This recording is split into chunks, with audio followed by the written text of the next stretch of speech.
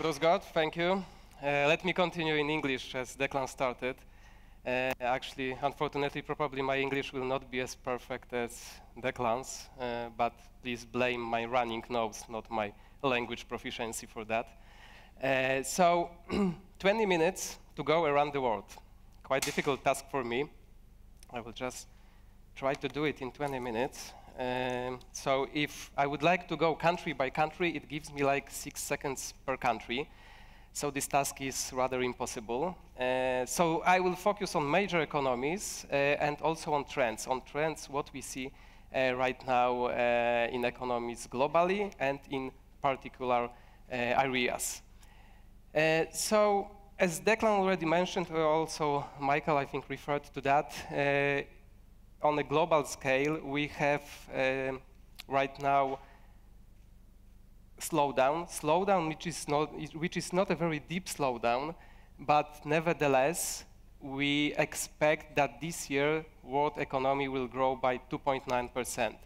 It's much lower, not much lower, but it's lower than recorded in 2017 and 2018. Respectively, it was 3.3 and 3.2%.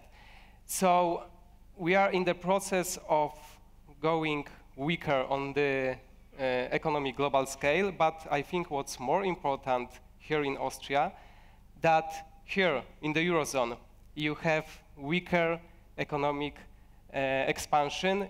Here it is confirmed by the industrial production dynamics, because still, although we can say that uh, more and more services are contributing to uh, to, to, global economy. Steel industry is a significant part of that's what's happening in the Eurozone, and still it is a good proxy uh, of, of the economic activity.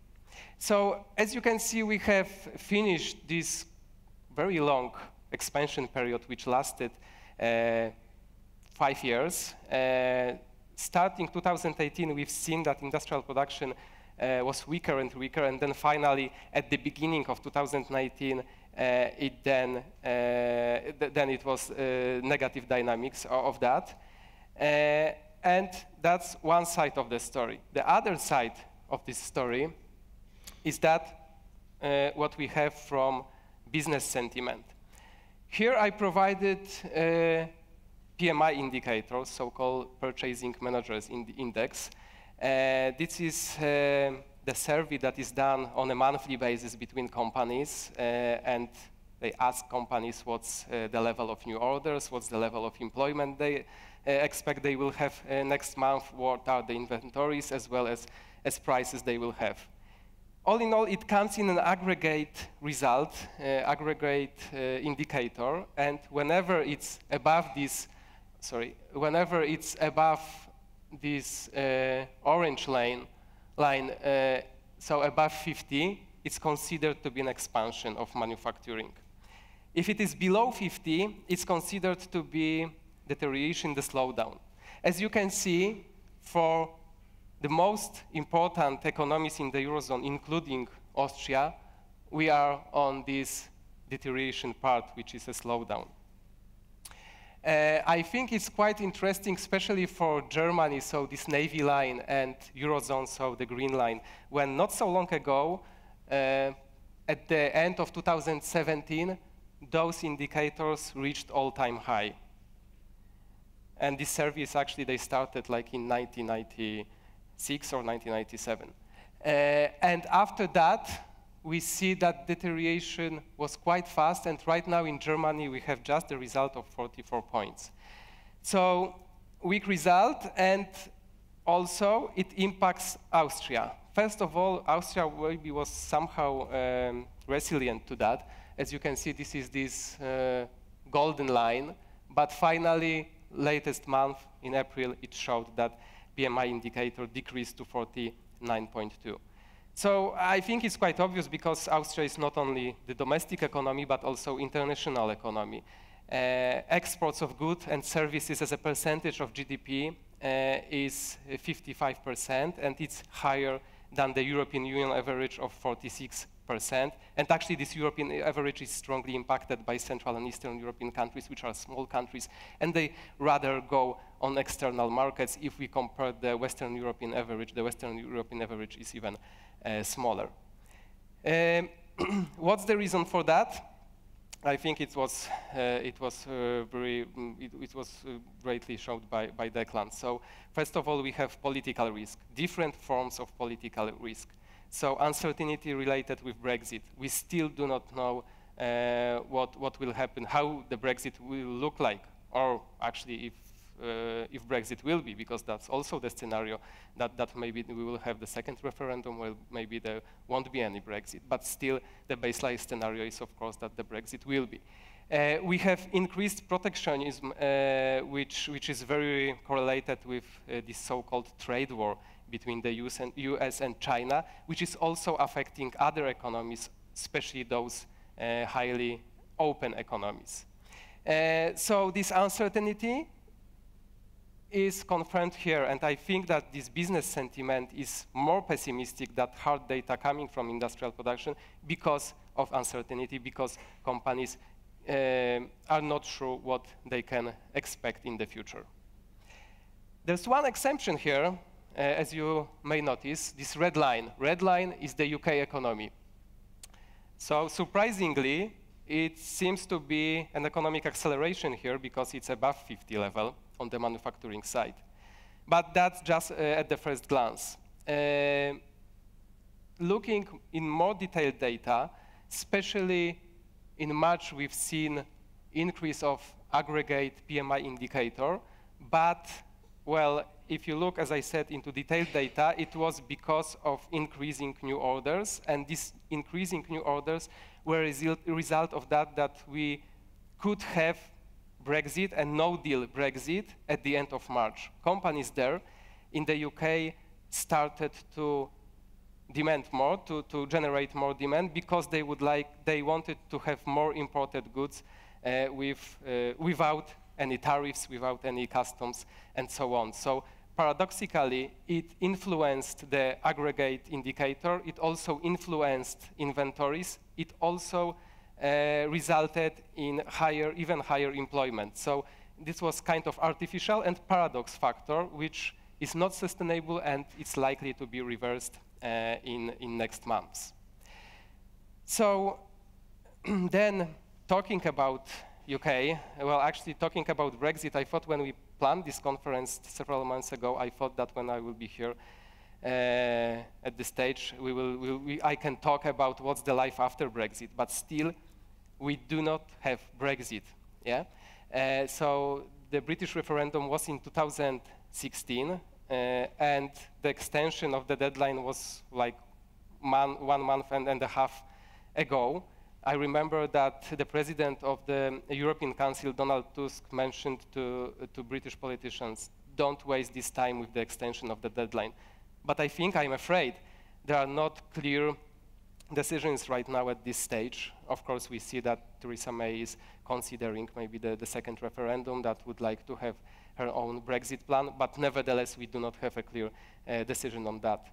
And so far, it affects also the business sector in the UK. Uh, in 2016 and 2017, it was quite stable with business insolvencies in the UK, but then uh, this deteriorated business and consumer sentiment, uh, increased uh, inflation, uh, exchange rate, also volatility. Uh, all of those factors triggered lower demand for, for, for, companies, and we've experienced increased company insolvencies in the UK. As you will see in a minute, we also expect they will increase this year. Um, well, uh, in terms of, of the UK, of course, still we have, as I said, this uh, scenario of Brexit, and the scenario is still probable of no-deal Brexit.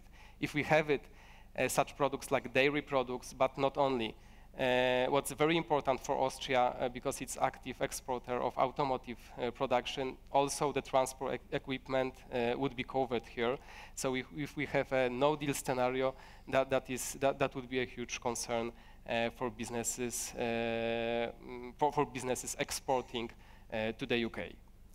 Uh, so I mentioned already that uh, we expect an increase of business insolvencies uh, in the United Kingdom. We actually uh, expect that they will increase by 8% uh, this year. You have a chart here with, with insolvencies.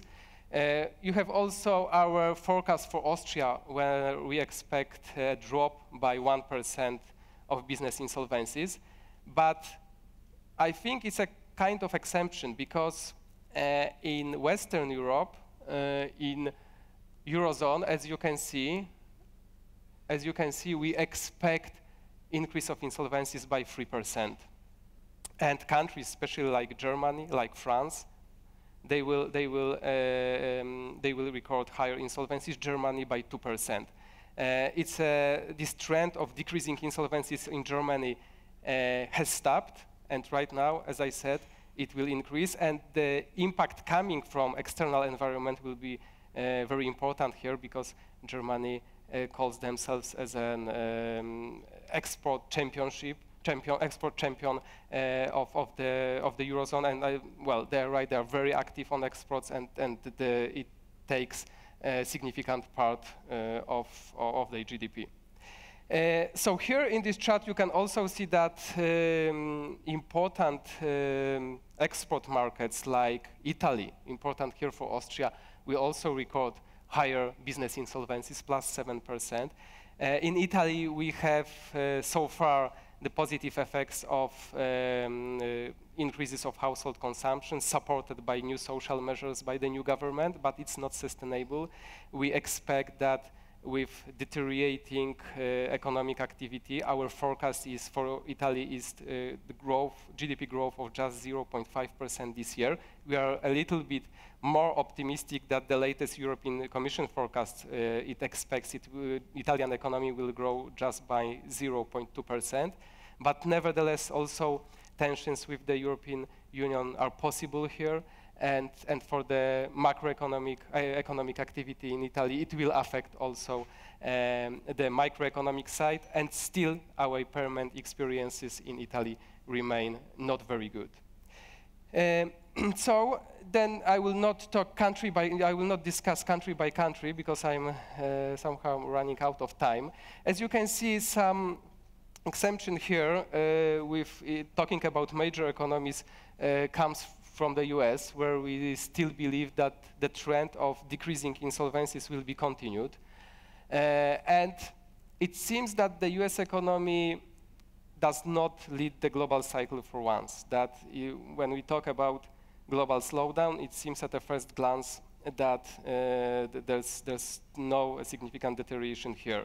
But I would say no significant, because last year uh, the US economy expanded by 2.9%. Uh, this year we expect 2.5%. So still very good level for advanced economy, but nevertheless, uh, it's also one of the major economies that is slowing down. Um, still, we have effects of positive effects of decrease of um, corporate tax from 35 to 21 percent. Still, some positive effects of the huge infrastructure investment plan. Mm, but I think in 2019, it looks, as I said, quite safe. Starting 2020, the US will also experience more negative effects coming from increased protectionism from trade war between the US and China.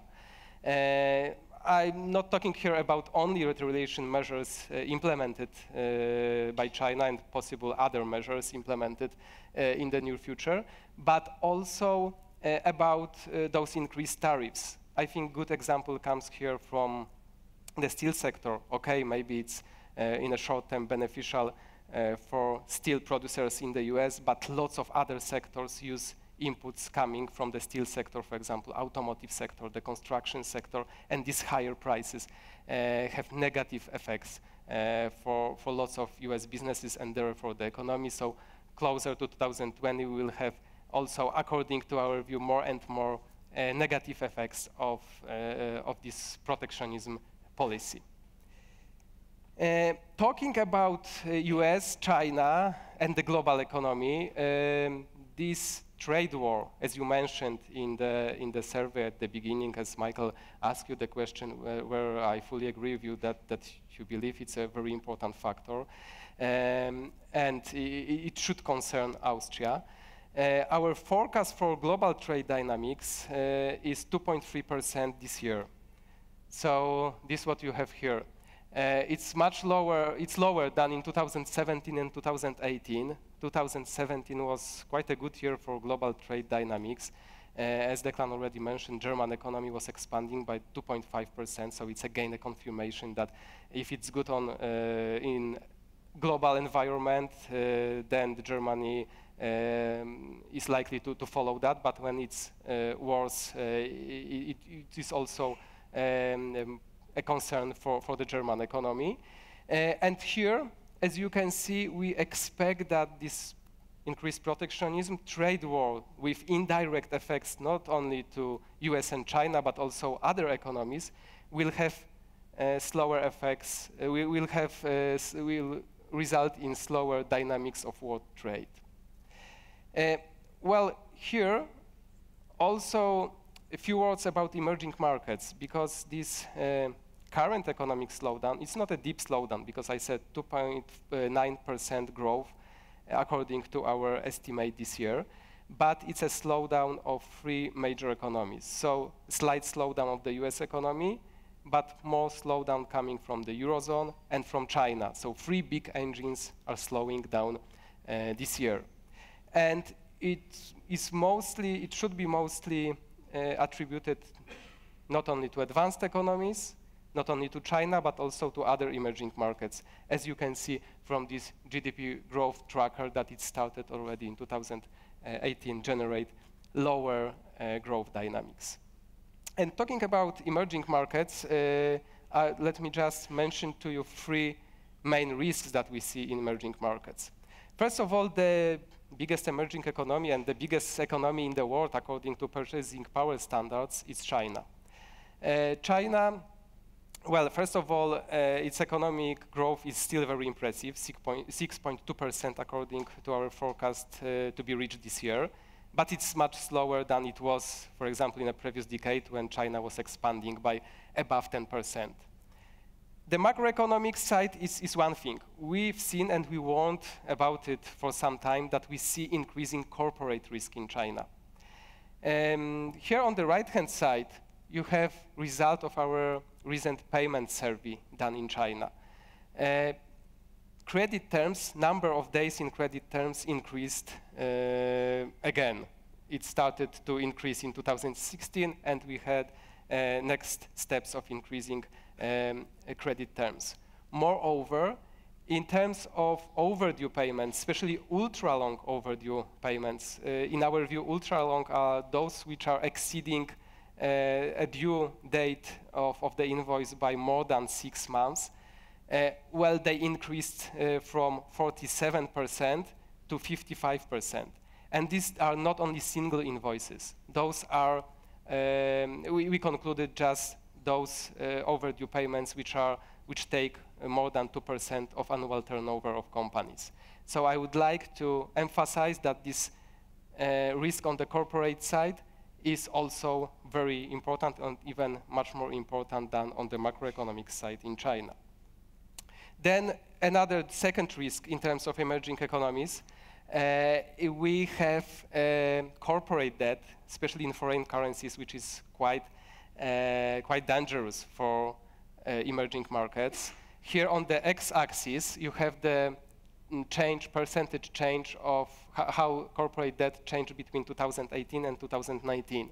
On y-axis, you have debt to GDP ratio uh, in, the, in the middle of uh, last year. So the countries uh, in, in uh, worst, uh, the worst case are here. Turkey, Chile, Czech Republic, Mexico, Brazil. Uh, in terms of the Czech Republic, it's a different story because most of these debts is in euro. It's much more manageable. Czech Republic is strongly correlated with, with the eurozone economy. But other economies are more indebted in US dollar. We have, we had increases of interest rates in the US, whereas lots of these countries, for example, Turkey, suffered from uh, exchange rate, uh, exchange uh, from, from the currency depreciation. So it increases costs of servicing this debt and increases uh, the cost of financing of rolling over this debt, especially that uh, a significant part of this debt is going to mature in this year and, and next year.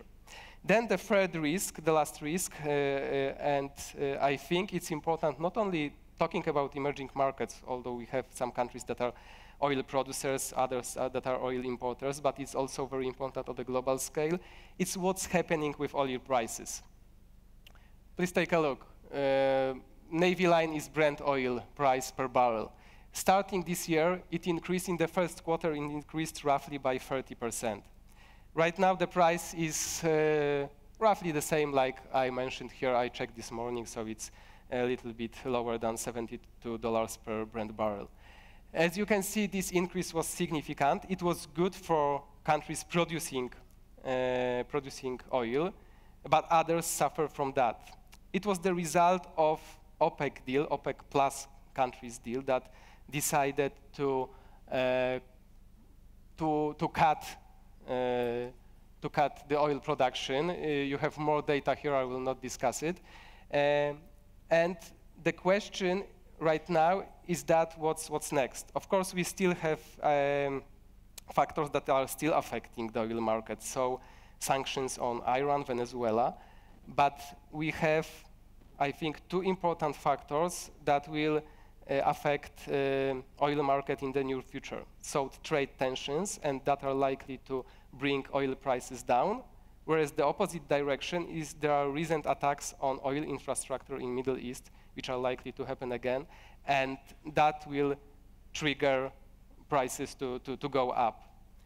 Uh, and last but not least, or even the, the most important, uh, I think that uh, this output deal will not survive in the second half of this year, that uh, there will be change of, of view of OPEC plus countries. They are going to meet here in Vienna next month at the end of June.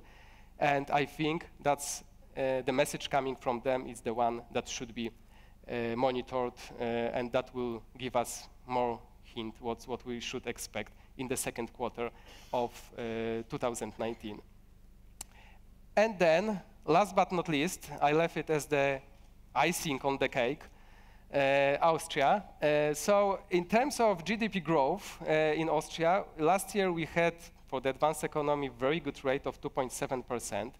Uh, you can see that on this chart, this orange line. Here, these color bars are contributions coming. So what, what was the result of, uh, what were the components of this GDP growth? And you can see in 2018, we had a very balanced uh, GDP growth in Austria um, contributed by household consumption thanks to good situation on the labor market, lower unemployment rate, growing wages, also family bonus plus uh, program that was introduced, um, and investments, this part, as well as red parts, so net exports. Net exports is a difference between exports and imports. Right now, in 2019, we expect 1.5% growth here in Austria, uh, and, uh, well, you cannot see the red part because it disappears because of this situation on export markets. Of course, according to our view, exports will be positive, but they will also be consumed by the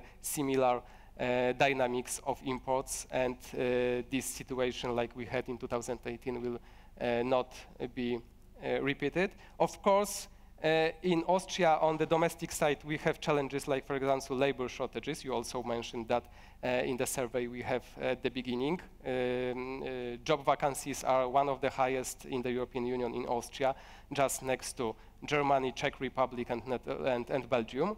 Uh, but as a last point, uh, I said already that the economic openness of Austrian economy is high.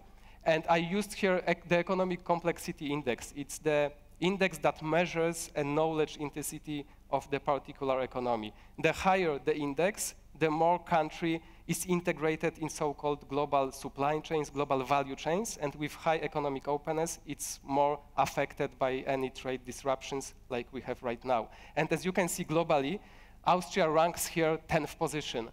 Uh, globally, it's not like for, for some group countries, but it's globally. So indeed, those effects, if we have slower growth uh, globally, if we have some concerns about uh, trade growth, that will definitely also affect um, Austrian economy. Luckily, you still have this part of domestic uh, demand that, that is quite stable. And last but not least, I know I have to finish.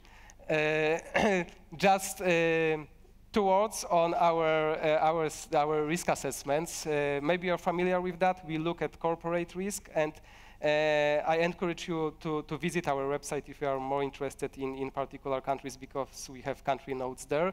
In Austrian assessment remains at A1 level. Also, the German one is at, at 1 level. In Western Europe, we have only countries like the UK, which is A3, Italy is A4, and we have also sector risk assessments, not significant changes last month, but previously at the beginning of year, we decreased the assessment. We downgraded the automotive sector in Western and Central and Eastern Europe. So, um, concluding, not as good times as there were in 2017 and 18, more risks in our view on external side, but it does not mean that domestic side is uh, free of, of any risk. Sorry to be too long to go behind the schedule, but anyway, I hope you found it Thank you Thank for you. your speech.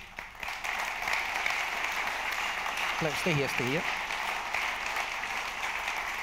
Because we, we have three questions, please, short answers. I Mm-hmm. Okay, will short.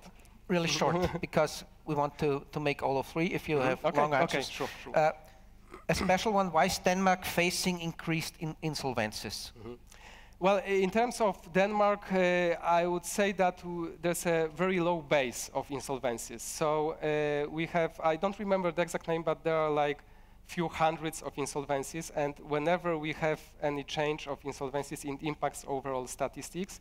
And right now, as far as I remember, they also cleaned registers from inactive companies in Denmark. So I, I wouldn't base so much on that. It's not that the the, the business sentiment is strongly uh, uh, deteriorating here, or the business liquidity. Second question, world trade between 2010 and 15? Uh, 2010? 10 And- to, and 15.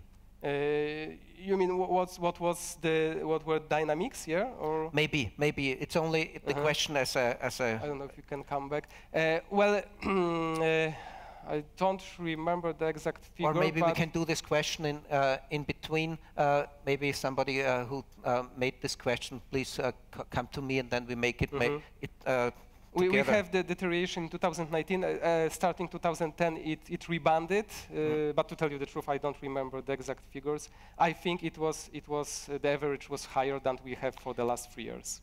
And the last one: Do we need to prepare for a European recession? Well, I think that's a good question to Mr. Miller.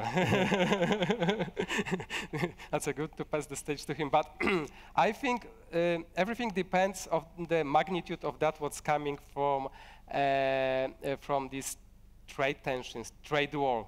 Yeah, let's let's use this word, trade war. There are not trade tensions. This is trade war between the U.S. and China in the magnitude.